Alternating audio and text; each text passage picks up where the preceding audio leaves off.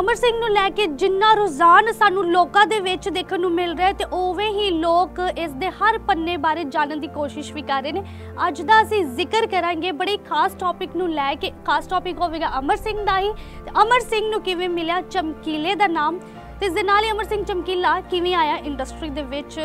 ਤੇ ਇੰਨਾ ਹੀ ਨਹੀਂ, ਚਮਕੀਲੇ ਬਾਰੇ ਬਹੁਤ ਸਾਰੀਆਂ ਫੈਕਟਸ ਗੱਲਾਂ ਜਿਹੜੀਆਂ ਅੱਜ ਤੁਹਾਡੇ ਨਾਲ ਸਾਂਝੀਆਂ ਕੀਤੀਆਂ ਜਾਣਗੀਆਂ। ਇਮਤਿਆਜ਼ ਅਲੀ ਦੁਆਰਾ ਡਾਇਰੈਕਟ ਕੀਤੀ ਗਈ ਫਿਲਮ ਚਮਕੀਲਾ ਚ ਜਿੱਥੇ ਦਿਲਜੀਤ ਦੋਸਾਂਝ ਤੇ ਪਰਿਨੀਤੀ ਚੋਪੜਾ ਇਸ ਵਿੱਚ ਮੁੱਖ ਕਿਰਦਾਰ ਦੇ ਵਿੱਚ ਸਾਨੂੰ ਦੇਖਣ ਨੂੰ ਮਿਲੇ ਜਿੱਥੇ ਚਮਕੀਲੇ ਦੇ ਨਾਲ ਨਾਲ ਅਮਰਜੋਤ ਦਾ ਵੀ ਕਿਰਦਾਰ ਚਰਚਾ ਦੇ ਵਿੱਚ ਹੋ ਰਿਹਾ ਲੁਧਿਆਣਾ ਦੇ ਨੇੜਲੇ ਪਿੰਡ ਡੁਗਰੀ ਚ 21 ਜੁਲਾਈ 1960 ਚ ਅਮਰ ਸਿੰਘ ਚਮਕੀਲੇ ਦਾ ਜਨਮ ਹੋਇਆ ਪਰ ਉਹਨਾਂ ਦੇ ਬਚਪਨ ਦਾ ਨਾਮ ਤਨੀ ਰਾਮ ਸੀ ਇਹ ਵੀ ਕਿਹਾ ਜਾਂਦਾ ਹੈ ਕਿ ਓਰੀਜਨਲ ਡਾਕੂਮੈਂਟ ਦੇ ਵਿੱਚ ਤਾਂ ਉਹਨਾਂ ਦਾ ਨਾਮ ਸ਼ੁਰੂ ਤੋਂ ਹੀ ਅਮਰ ਸਿੰਘ ਹੈ ਅਮਰ ਸਿੰਘ ਚਮਕੀਲੇ ਦਾ ਪਰਿਵਾਰ ਜਿੱਥੇ ਆਰਥਿਕ ਪੱਖੋਂ ਬਹੁਤ ਹੀ ਜ਼ਿਆਦਾ ਕਮਜ਼ੋਰ ਸੀ ਤੇ ਉਹਨਾਂ ਦੀਆਂ ਦੋ ਭੈਣਾਂ ਤੇ ਦੋ ਭਰਾ ਵੀ ਸੀ, ਅਮਰ ਸਿੰਘ ਚਮਕੀਲਾ ਦੀ। ਪੜ੍ਹਾਈ ਦੀ ਬਾਰੇ ਗੱਲ ਕੀਤੀ ਜਾਵੇ ਤਾਂ ਉਹ ਬਹੁਤ ਹੀ ਮਾੜੇ ਹਾਲਾਤਾਂ ਦੇ ਵਿੱਚ ਰਹੇ ਨੇ।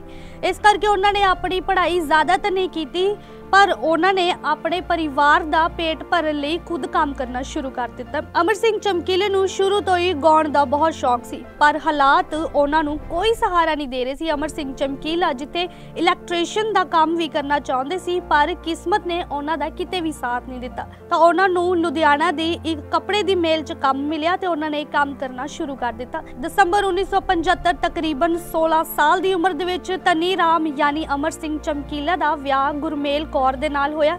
ਜਿਵੇਂ ਕਿ ਸਭ ਨੂੰ ਪਤਾ ਹੈ, ਅਮਰ ਸਿੰਘ ਚਮਕੀਲਾ ਤੁੰਬੀ ਬਹੁਤ ਵਧੀਆ ਵਜਾਉਂਦੇ ਸੀ, ਪਰ ਇਸ ਦੇ ਨਾਲ ਹੀ ਤੁੰਬੀ ਤੋਂ ਇਲਾਵਾ ਉਹਨਾਂ ਨੂੰ ਹਾਰਮੋਨੀਅਮ ਤੇ ਢੋਲਕੀ ਦਾ ਵੀ ਬਹੁਤ ਜ਼ਿਆਦਾ ਸ਼ੌਕ ਸੀ।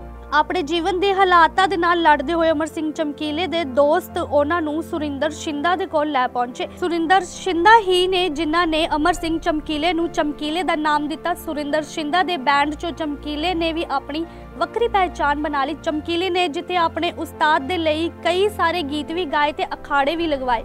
ਚਮਕੀਲੇ ਦੀ ਸਫਲਤਾ ਦੀ ਕਹਾਣੀ ਉਦੋਂ ਸ਼ੁਰੂ ਹੋਈ ਜਦੋਂ ਸੁਰਿੰਦਰ ਸ਼ਿੰਦਾ ਚਮਕੀਲੇ ਦਾ ਲਿਖਿਆ ਹੋਇਆ ਪਹਿਲਾ ਗੀਤ ਜਿਨ੍ਹਾਂ ਨੇ ਰਿਕਾਰਡ ਕਰਵਾਇਆ, ਜਿਸ ਦਾ ਨਾਮ ਸੀ ਮੈਂ ਡਿੱਗੀ ਤਿਲਕ ਕਰਕੇ। ਇਹ ਗੀਤ ਸੁਪਰ ਹਿੱਟ ਸਾਬਿਤ ਹੋਇਆ ਤੇ ਉਸ ਤੋਂ ਬਾਅਦ ਚਮਕੀਲੇ ਨੇ ਇੱਕ ਹੋਰ ਗੀਤ ਗਾਇਆ ਜੋ ਕਿ ਉਹ ਵੀ ਸੁਪਰ ਹਿੱਟ ਸਾਬਿਤ ਹੋਇਆ। ਜਿਸ ਤੋਂ ਬਾਅਦ ਚਮਕੀਲਾ ਬੈਂਡ 'ਚ ਇੱਕ ਗੀਤਕਾਰ ਵਜੋਂ ਵੀ ਕੰਮ ਕਰਨ ਲੱਗ ਗਿਆ ਜਿਸ ਤੋਂ ਬਾਅਦ ਚਮਕੀਲੇ ਦੇ ਕਈ ਲਿਖੇ ਹੋਏ ਗੀਤ ਸੁਰਿੰਦਰ ਸ਼ਿੰਦਾ ਨੇ ਗਾਏ। ਪਰ ਚਮਕੀਲੇ ਦਾ ਨਾਮ ਉਦੋਂ ਚਮਕਿਆ ਜਦੋਂ ਸੁਰਿੰਦਰ ਸ਼ਿੰਦਾ ਕੈਨੇਡਾ 'ਚ ਸ਼ੋਅ ਲਗਾਉਣ ਲਈ ਗੁਲਸ਼ਨ ਕੋਮਲ ਨਾਮ ਦੀ ਔਰਤ ਨਾਲ ਚਲੇ ਗਏ ਤੇ ਗਾਇਕ ਸੋਨੀਆ ਨਾਲ ਆਪਣੀ ਜੋੜੀ ਤੋੜ ਦਿੱਤੀ। ਤਾਂ ਚਮਕੀਲੇ ਨੂੰ ਵੀ ਮੌਕਾ ਮਿਲ ਗਿਆ ਸੁਰਿੰਦਰ ਸੋਨੀਆ ਨਾਲ ਗਾਇਕ ਦੀ ਜੋੜੀ ਬਣਨ ਦਾ। ਉਸ ਸਮੇਂ ਸੋਨੀਆ ਨੂੰ ਵੀ ਪੰਜਾਬ 'ਚ ਬਹੁਤ ਲੋਕ ਜਾਣਦੇ ਸੀ, ਤਾਂ ਫਿਰ ਚਮਕੀਲੇ ਨੇ ਸੋਨੀਆ ਨਾਲ ਹੀ ਆਪਣੀ ਗਾਇਕੀ ਜੋੜੀ ਬਣਾ ਲਈ ਤੇ 1980 ਦੇ ਵਿੱਚ ਇਹਨਾਂ ਦੀ ਟਕੂਏ ਤੇ ਟਕੂਆ ਨਵੀਂ ਐਲਬਮ ਆਈ ਜੋ ਕਿ ਸੁਪਰ ਹਿੱਟ ਸਾਬਿਤ ਹੋਈ। ਇਸ ਗੀਤ 'ਚ ਚਮਕੀਲੇ ਨੇ ਵਰਗਰ ਭਾਸ਼ਾ ਦੀ ਵਰਤੋਂ ਕੀਤੀ ਸੀ, ਜਿਸ ਦੇ ਬਾਵਜੂਦ ਵੀ ਲੋਕਾਂ ਨੇ ਇਸ ਐਲਬਮ ਨੂੰ ਖੂਬ ਪਸੰਦ ਕੀਤਾ। ਦੱਸਦੀ ਕਿ ਉਸ ਸਮੇਂ ਜਿੰਨੀ ਵੀ ਦੋਨੋਂ ਕਮਾਈ ਕਰਦੇ ਸੀ, ਉਸ ਤੋਂ ਜ਼ਿਆਦਾ ਹਿੱਸਾ ਜਿਹੜਾ ਸੋਨੀਆ ਨੂੰ ਮਿਲਦਾ ਸੀ।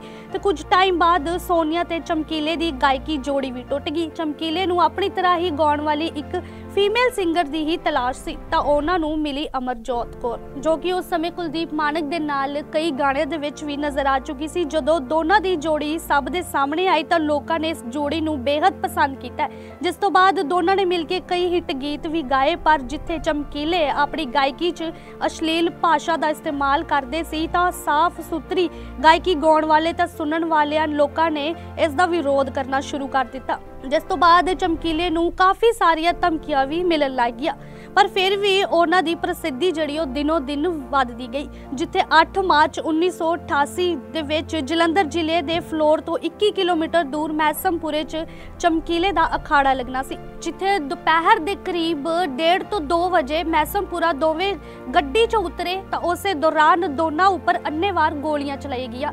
ਜਿਸ ਦੌਰਾਨ ਅਮਰਜੋਤ ਕੌਰ ਤੇ ਚਮਕੀਲਾ ਦੇ ਨਾਲ ਨਾਲ ਉਹਨਾਂ ਦੇ ਦੋ ਸਾਥੀਆਂ ਨੂੰ ਵੀ ਗੋਲੀਆਂ ਲੱਗੀਆਂ। ਪਰ ਇਸ ਘਟਨਾ ਤੋਂ ਬਾਅਦ ਜਿਹੜਾ ਹੈ ਬਹੁਤ ਸਾਰੀਆਂ ਚੀਜ਼ਾਂ ਜਿਹੜੀਆਂ ਸਾਹਮਣੇ ਆਈਆਂ ਕਿ ਅਮਰਜੋਤ ਕੌਰ ਤੇ ਚਮਕੀਲੇ ਨੂੰ ਕਿੰਨੇ ਮਰਵਾਇਆ ਹੈ, ਪਰ ਇਹ ਘਟਨਾ ਜਿਹੜੀ ਹੈ ਉਹ ਅਜੇ ਤੱਕ ਵੀ ਰਾਜ਼ ਬਣ ਕੇ ਹੀ ਰਹੀ ਹੈ।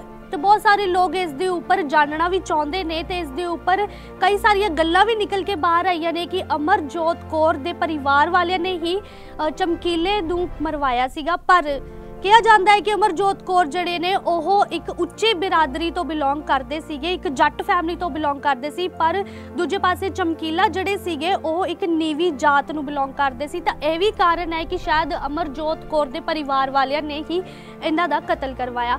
ਪਰ ਇਹ ਵੀ ਕਿਹਾ ਜਾਂਦਾ ਹੈ ਕਿ ਕਿਸੇ ਸ਼ੋਅ ਦੇ ਦੌਰਾਨ ਅਮਰ ਸਿੰਘ ਚਮਕੀਲੇ ਦੀ ਕਿਸੇ ਦੇ ਨਾਲ ਬਹੁਤ ਹੀ ਜ਼ਿਆਦਾ ਲੜਾਈ ਵੀ ਹੋ ਗਈ ਸੀ। ਪਰ ਜਿਸ ਦੌਰਾਨ ਆਪਸੀ ਰੰਜਿਸ਼ ਨੂੰ ਵੀ ਲੈ ਕੇ ਕਿਹਾ ਜਾ ਸਕਦਾ ਹੈ ਕਿ ਉਹਨਾਂ ਨੇ ਹੀ ਸ਼ਾਇਦ ਇਹਨਾਂ ਦਾ ਕਤਲ ਕਰਵਾਇਆ, ਪਰ ਇਸ ਦੀ ਗੁੱਥੀ ਜਿਹੜੀ ਅਜੇ ਤੱਕ ਵੀ ਨਹੀਂ ਸੁਲਝੀ, ਜੋ ਕਿ ਅਜੇ ਤੱਕ ਵੀ ਲੋਕ ਇਸ ਚੀਜ਼ ਦੇ ਬਾਰੇ ਚੰਗੀ ਤਰ੍ਹਾਂ ਜਾਣ ਨਹੀਂ ਸਕੇ। ਆਖਰ ਅਮਰਜੋਤ ਕੌਰ ਦੇ ਚਮਕੀਲੇ ਨੂੰ ਕਿਹਨੇ ਮਰਵਾਇਆ? ਤੁਹਾਨੂੰ ਕਿਵੇਂ ਲੱਗੀ ਸਾਡੀ ਅਪਡੇਟ ਸਾਨੂੰ ਕਮੈਂਟ ਸੈਕਸ਼ਨ 'ਚ ਜ਼ਰੂਰ ਦੱਸਣਾ।